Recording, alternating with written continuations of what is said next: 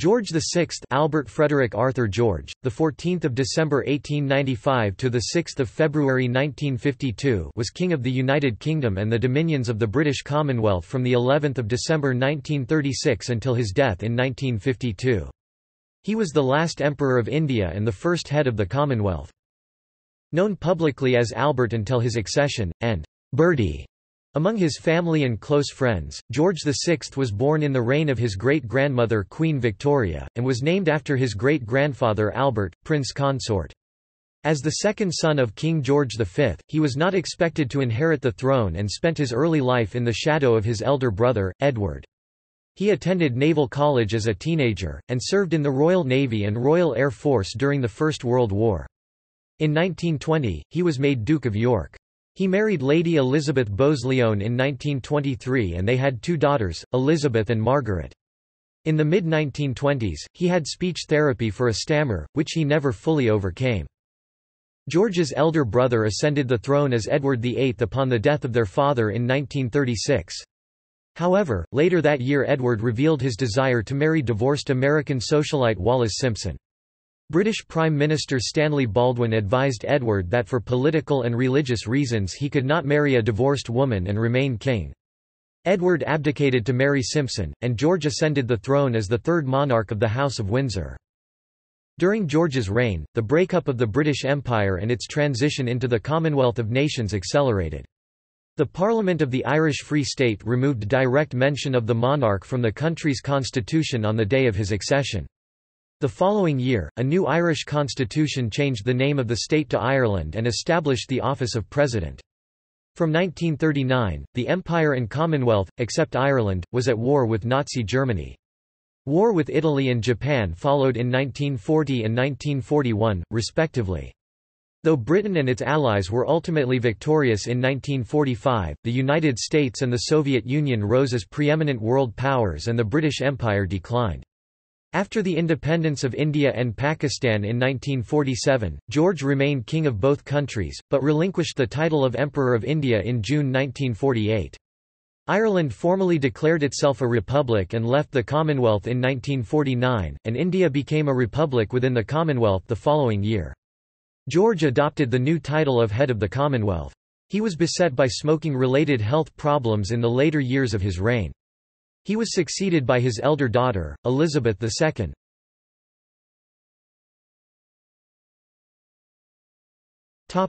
Early life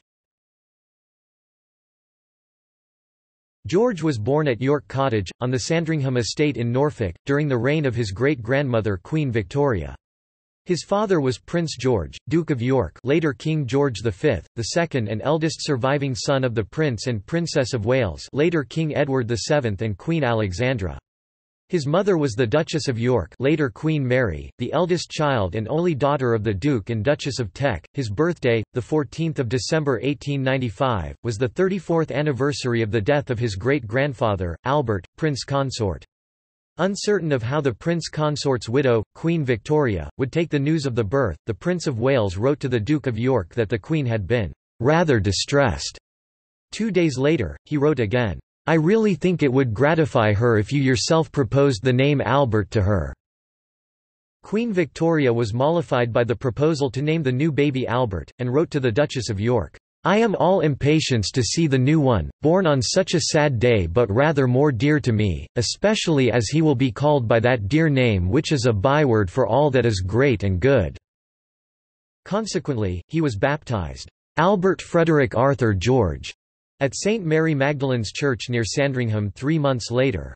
Within the family, he was known informally as Bertie. His maternal grandmother, the Duchess of Teck, did not like the first name the baby had been given, and she wrote prophetically that she hoped the last name may supplant the less favoured one. Albert was fourth in line to the throne at birth, after his grandfather, father and elder brother, Edward. He often suffered from ill health and was described as easily frightened and somewhat prone to tears. His parents were generally removed from their children's day-to-day -day upbringing, as was the norm in aristocratic families of that era. He had a stammer that lasted for many years. Although naturally left-handed, he was forced to write with his right hand, as was common practice at the time. He suffered from chronic stomach problems as well as knock knees, for which he was forced to wear painful corrective splints. Queen Victoria died on the 22nd of January 1901, and the Prince of Wales succeeded her as King Edward VII. Prince Albert moved up to third in line to the throne, after his father and elder brother.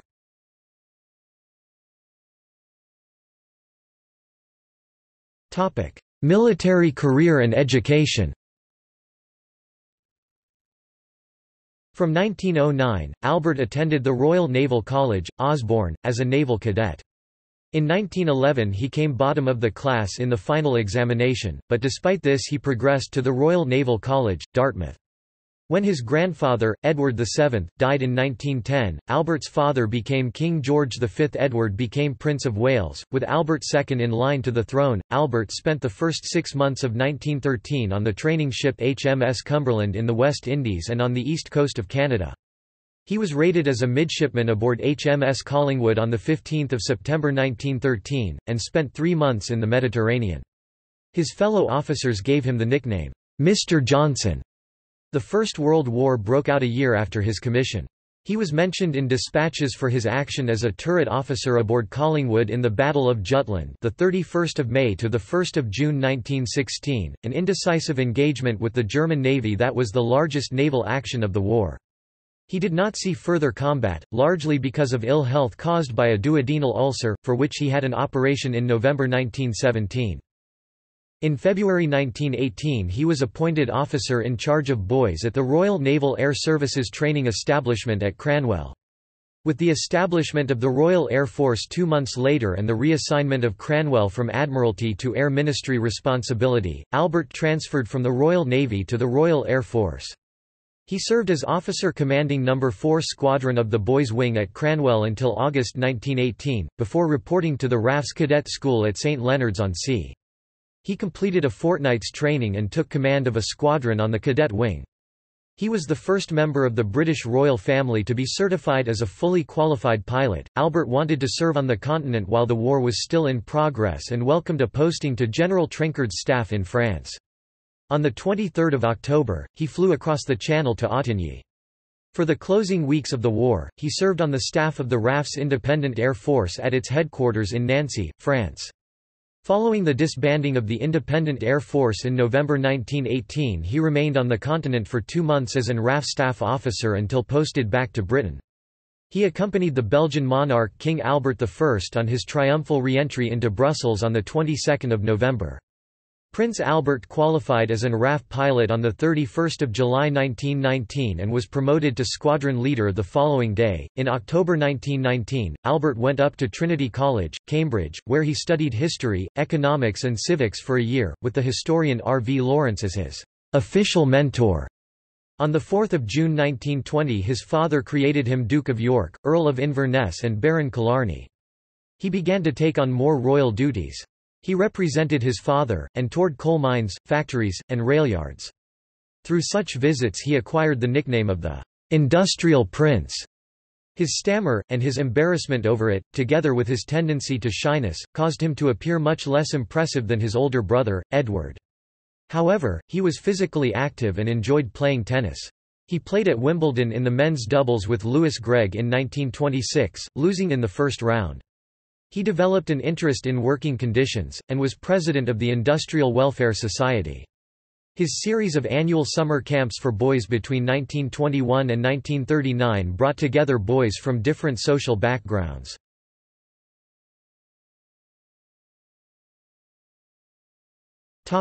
Marriage In a time when royalty were expected to marry fellow royalty, it was unusual that Albert had a great deal of freedom in choosing a prospective wife. An infatuation with the already married Australian socialite Sheila, Lady Loughborough, came to an end in April 1920 when the king, with the promise of the Dukedom of York, persuaded Albert to stop seeing her. That year, he met for the first time since childhood Lady Elizabeth Bowes-Lyon, the youngest daughter of the Earl and Countess of Strathmore and Kinghorn. He became determined to marry her. She rejected his proposal twice, in 1921 and 1922, reportedly because she was reluctant to make the sacrifices necessary to become a member of the royal family. In the words of Lady Elizabeth's mother, Albert would be made or marred. by his choice of wife. After a protracted courtship, Elizabeth agreed to marry him. They were married on 26 April 1923 in Westminster Abbey. Albert's marriage to someone not of royal birth was considered a modernising gesture. The newly formed British Broadcasting Company wished to record and broadcast the event on radio, but the Abbey chapter vetoed the idea although the dean, Herbert Edward Ryle, was in favour. From December 1924 to April 1925, the Duke and Duchess toured Kenya, Uganda, and the Sudan, travelling via the Suez Canal and Aden. During the trip, they both went big game hunting. Because of his stammer, Albert dreaded public speaking. After his closing speech at the British Empire exhibition at Wembley on 31 October 1925, one which was an ordeal for both him and his listeners, he began to see Lionel Logue, an Australian-born speech therapist. The Duke and Logue practiced breathing exercises, and the Duchess rehearsed with him patiently. Subsequently, he was able to speak with less hesitation. With his delivery improved, the Duke opened the new Parliament House in Canberra, Australia, during a tour of the Empire in 1927.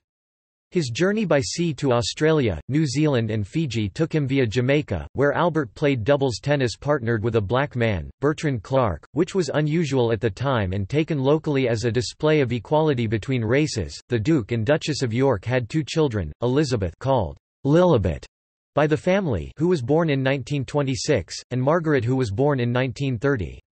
The Duke and Duchess and their two daughters lived a relatively sheltered life at their London residence, 145 Piccadilly. They were a close and loving family. One of the few stirs arose when the Canadian Prime Minister, R. B. Bennett, considered the Duke for Governor-General of Canada in 1931 a proposal that King George V rejected on the advice of the Secretary of State for Dominion Affairs, J. H. Thomas.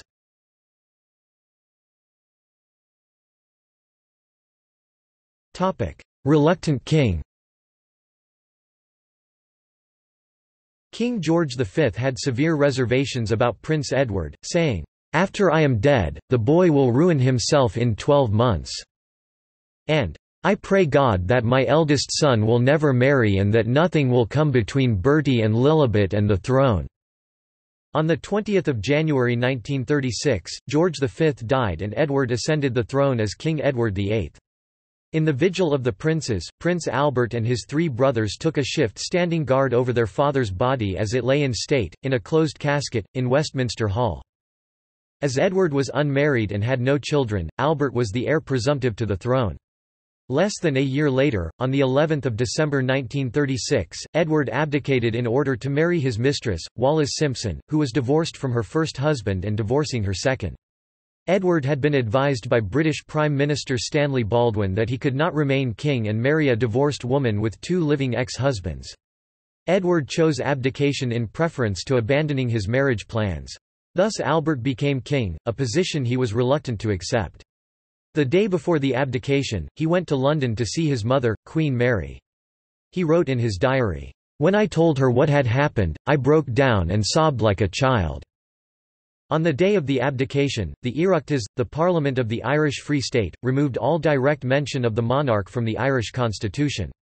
The next day, it passed the External Relations Act, which gave the monarch limited authority strictly on the advice of the government to appoint diplomatic representatives for Ireland and to be involved in the making of foreign treaties. The two acts made the Irish Free State a republic in essence without removing its links to the Commonwealth. Courtier and journalist Dermot Morrah alleged that there was brief speculation as to the desirability of bypassing Albert and his children and his brother, Prince Henry, Duke of Gloucester, in favour of their younger brother Prince George, Duke of Kent. This seems to have been suggested on the grounds that Prince George was at that time the only brother with a son.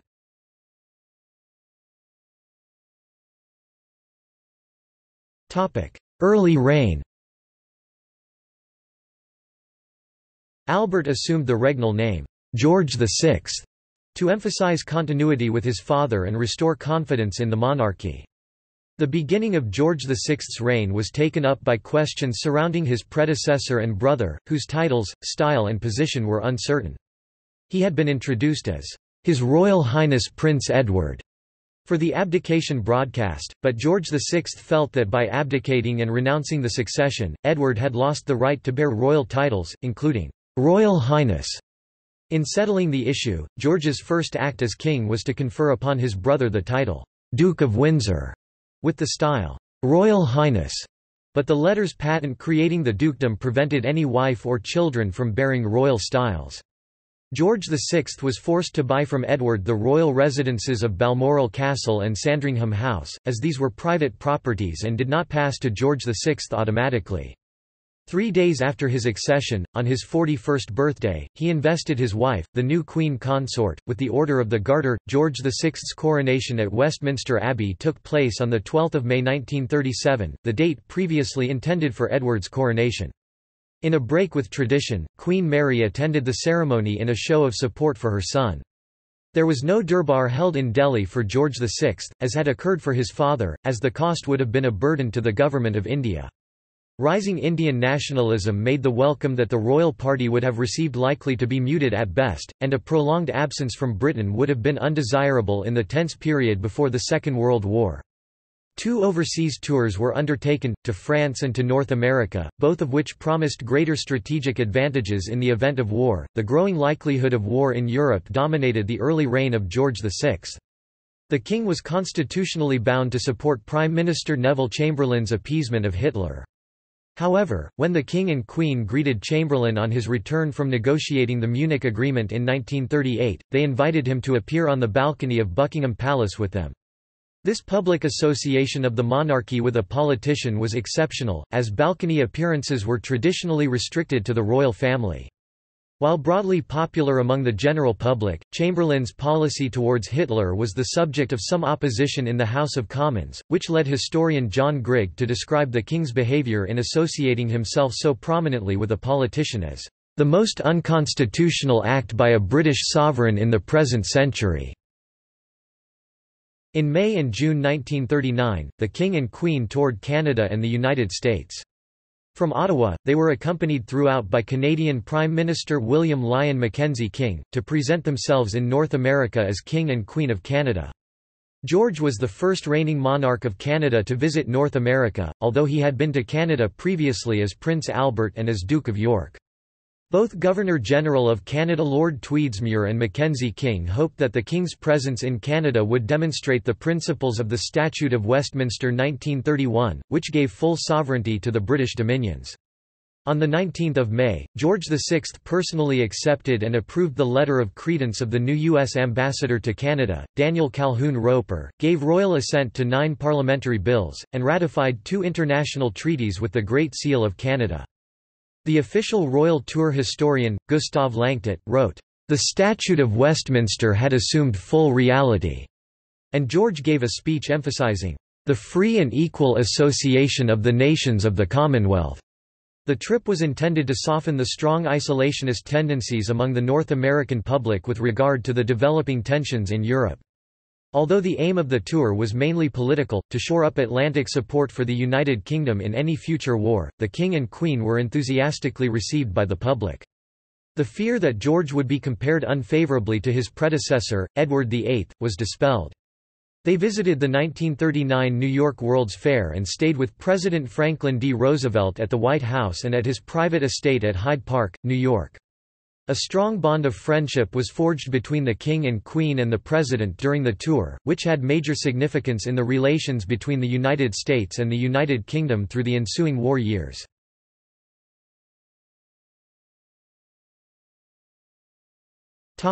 Second World War In September 1939, Britain and the self-governing dominions other than Ireland declared war on Nazi Germany.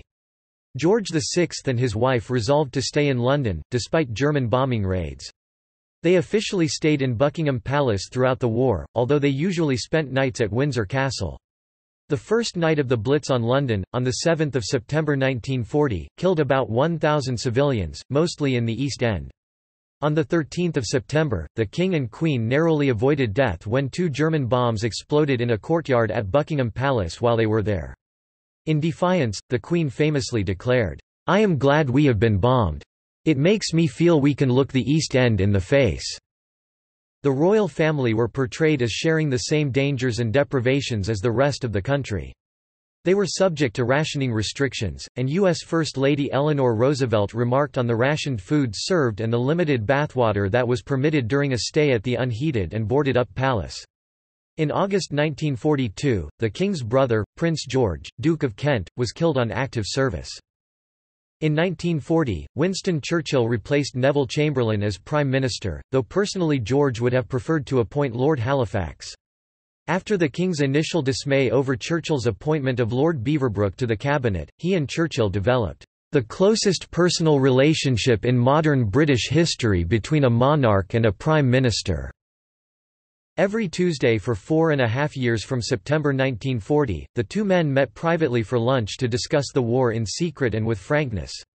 The king has related much of what the two discussed in his diary, which is the only extant first-hand account of these conversations. Throughout the war, the king and queen provided morale-boosting visits throughout the United Kingdom, visiting bomb sites, munitions factories, and troops. The king visited military forces abroad in France in December 1939, North Africa and Malta in June 1943, Normandy in June 1944, southern Italy in July 1944, and the Low Countries in October 1944. Their high public profile and apparently indefatigable determination secured their place as symbols of national resistance. At a social function in 1944, the chief of the Imperial General Staff, Field Marshal Sir Alan Brooke, revealed that every time he met Field Marshal Sir Bernard Montgomery, he thought Montgomery was after his job. The king replied, "'You should worry, when I meet him, I always think he's after mine." In 1945, crowds shouted, "'We want the king!' in front of Buckingham Palace during the Victory in Europe Day celebrations. In an echo of Chamberlain's appearance, the king invited Churchill to appear with the royal family on the balcony to public acclaim. In January 1946, George addressed the United Nations at their first assembly, which was held in London, and reaffirmed, Our faith in the equal rights of men and women and of nations great and small.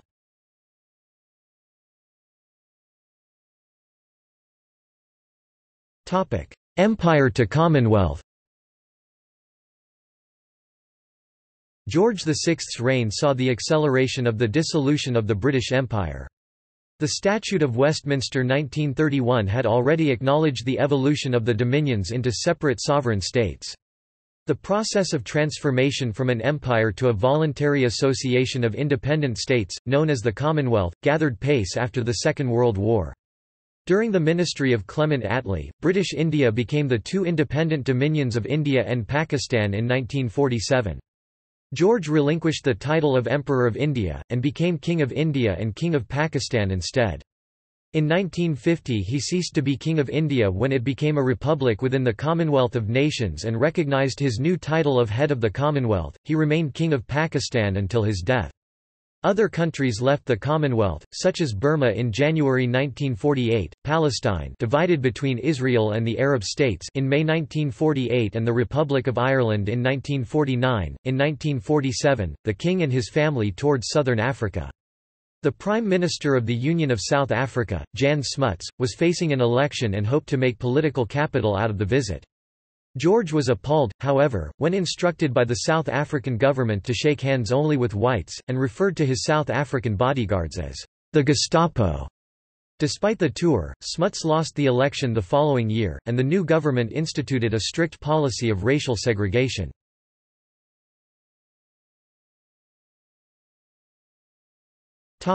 Illness and death The stress of the war had taken its toll on the king's health, made worse by his heavy smoking and subsequent development of lung cancer among other ailments, including arteriosclerosis and Buerger's disease. A planned tour of Australia and New Zealand was postponed after the king suffered an arterial blockage in his right leg, which threatened the loss of the leg and was treated with a right lumbar sympathectomy in March 1949. His elder daughter Elizabeth, the heir presumptive, took on more royal duties as her father's health deteriorated. The delayed tour was reorganised, with Elizabeth and her husband, the Duke of Edinburgh, taking the place of the King and Queen. The King was well enough to open the Festival of Britain in May 1951, but on 23 September 1951, his left lung was removed by Clement Price Thomas after a malignant tumour was found. In October 1951, Princess Elizabeth and the Duke of Edinburgh went on a month-long tour of Canada. The trip had been delayed for a week due to the King's illness. At the state opening of Parliament in November, the King's speech from the throne was read for him by the Lord Chancellor, Lord Simonds. His Christmas broadcast of 1951 was recorded in sections, and then edited together. On 31 January 1952, despite advice from those close to him, the King went to London Airport to see off Princess Elizabeth, who was going on her tour of Australia via Kenya. On the morning of 6 February at 7.30 Greenwich Mean Time, George VI was found dead in bed at Sandringham House in Norfolk. He had died from a coronary thrombosis in his sleep at the age of 56. His daughter flew back to Britain from Kenya as Queen Elizabeth II. From 9 February for two days his coffin rested in St. Mary Magdalene Church, Sandringham, before lying in state at Westminster Hall from of February. His funeral took place at St. George's Chapel, Windsor Castle, on the 15th. He was interred initially in the Royal Vault until he was transferred to the King George VI Memorial Chapel inside St. George's on 26 March 1969. In 2002, 50 years after his death, the remains of his widow, Queen Elizabeth the Queen Mother, and the ashes of his younger daughter Princess Margaret, who both died that year, were interred in the chapel alongside him.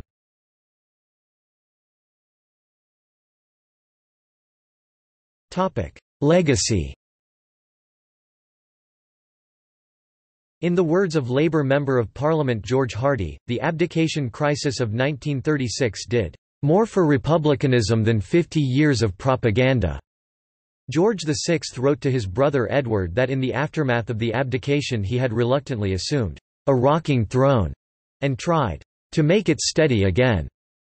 He became king at a point when public faith in the monarchy was at a low ebb. During his reign his people endured the hardships of war, and imperial power was eroded.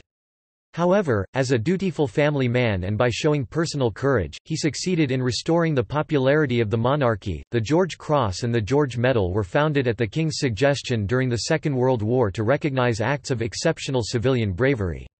He bestowed the George Cross on the entire island fortress of Malta in 1943. He was posthumously awarded the Ordre de la Libération by the French government in 1960, one of only two people the other being Churchill to be awarded the medal after 1946. A number of geographical features, roads, and institutions are named after George VI. These include King George Hospital in London, King George VI Reservoir in Surrey, United Kingdom, King George VI Highway and King George Boulevard in Surrey, British Columbia, Kingsway in Edmonton, George VI Sound in Antarctica, and the King George VI Chase, a horse race in the United Kingdom.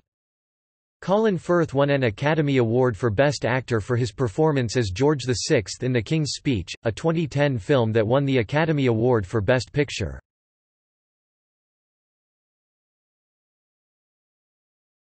Topic: Titles, styles, honors and arms.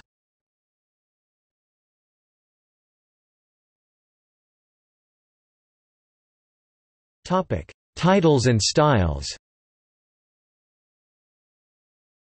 The 14th of December 1895 to the 28th of May 1898, His Highness Prince Albert of York the 28th of May 1898 to the 22nd of January 1901, His Royal Highness Prince Albert of York. The 22nd of January 1901 to the 9th of November 1901, His Royal Highness Prince Albert of Cornwall and York.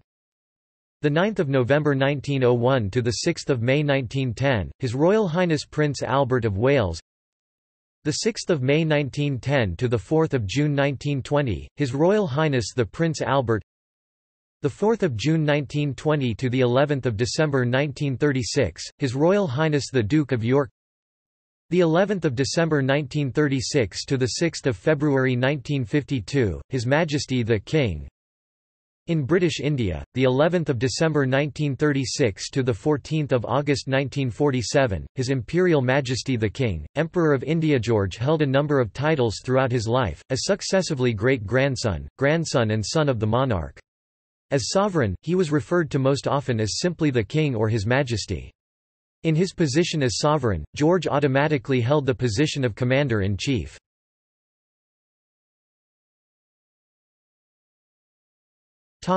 Arms As Duke of York, George bore the royal arms of the United Kingdom differenced with a label of three points argent, the centre point bearing an anchor azure, a difference earlier awarded to his father, George V, when he was Duke of York, and then later awarded to his grandson Prince Andrew, Duke of York. As king, he bore the royal arms undifferenced.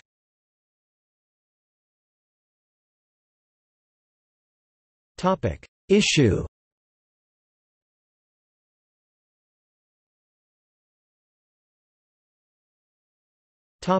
Ancestry. Notes